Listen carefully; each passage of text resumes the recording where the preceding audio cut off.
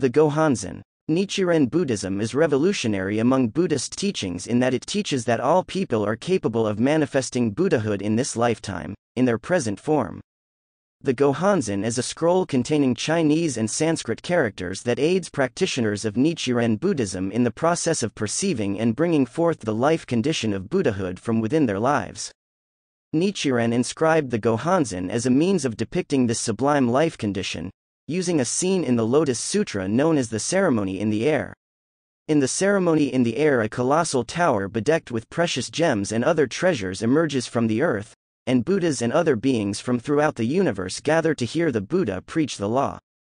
Down the center of the Gohonzon is written Nam Myoho Renge Kyo, and on either side of it are inscribed the names of these Buddhas, Bodhisattvas, and living beings representing various inner states of life, known as the Ten Worlds.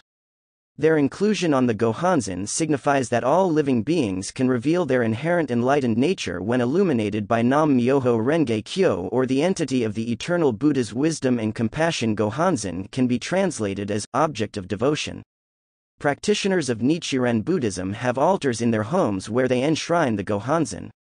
Their daily practice, which consists of chanting Nam Myoho Renge Kyo and reciting portions of the Lotus Sutra while facing the Gohonzon, is an act of reaffirming and revering the dignity of their own lives as well as the dignity of all life.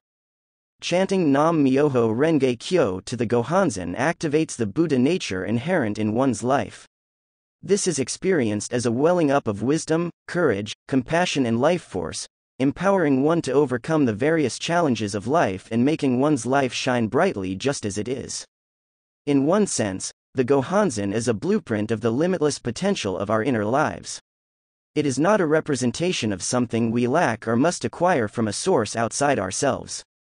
It is also an expression of the world as it should be, a place where all the problems of this troubled age have been overcome.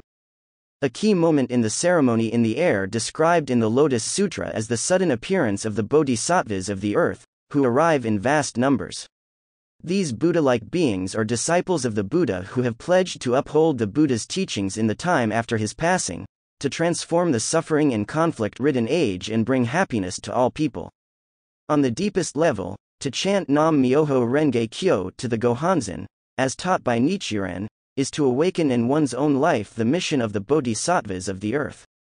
In this way, inheriting the spiritual legacy of Shakyamuni and Nichiren to actualize a world of peace and happiness for all beings, Nichiren followers strive to reveal their Buddhahood amidst the realities of their daily lives and help others do the same.